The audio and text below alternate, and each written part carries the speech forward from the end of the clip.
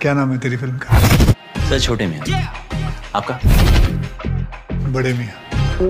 Hello बेलू मैं हूँ नसीहत एंड आप देख रहे हैं फिल्मी स्क्रीन अक्षय टाइगर श्राफ की मूवी बड़े मियाँ, छोटे मियाँ की रिलीज़ की तैयारी कर रहे हैं। नए साल पर उन्होंने मूवी का मोशन पोस्टर जारी किया था। वहीं अब बड़े मियाँ, छोटे मियाँ की रिलीज़ डेट से पर्दा उठा दिया। एक्शन से भरपूर अक्षय कुमार और टाइगर श्रॉफ की ये मूवी तीन महीने बाद रिलीज़ होने जा रही है। अक्षय और टाइगर की मूवी बड़े मियाँ, छोटे मियाँ खूब सुर्खियों में है। मूवी की अनाउंसमेंट से ही फैंस रिलीज़ की राह देख रहे हैं। लंबे सस्पेंस के बाद आखिरकार अब अक्षय कुमार ने मूवी की रिलीज़ डेट से पर्दा उठा दिया है। बड़े मियाँ, छोटे मियाँ की रिलीज़ के लिए अक्षय कुमार ने 2024 का बेहद खास दिन चुना है। जिसे जानकर फैंस के चेहरे खिल उठेंगे। अक्षय अपनी ज़्यादातर मूवी के फेस्टिवल के आसपास रिलीज़ करते हैं, ताकि हॉलीडे का फ़ायदा मूवी के बिज़नेस को मिल सके। अब बड़े मियाँ, छोटे मियाँ के लिए भी एक्टर ने बड़ा फेस्टिवल चुना है। अक्षय ने 10 जनवरी को सोशल मीडिया पर बड़े मियाँ, छोटे मियाँ का लुक शेयर किया। इसके साथ ही उन्होंने कहा कि मूवी की रिलीज़ को अब बस तीन महीने बचे हैं। इसके साथ ही एक्टर साफ़ किया कि बड़े मियाँ, छोटे मियाँ इस साल ईद पर रिलीज़ हो रही है। यानी मूवी 10 अप्रैल 2024 को थिएटर्स में दस्तक देगी। बड़े मियाँ, छोटे मियाँ का डायरेक्शन अली अब्बास ज़फ़र ने किया है। वहीं मूवी को वासु भगनानी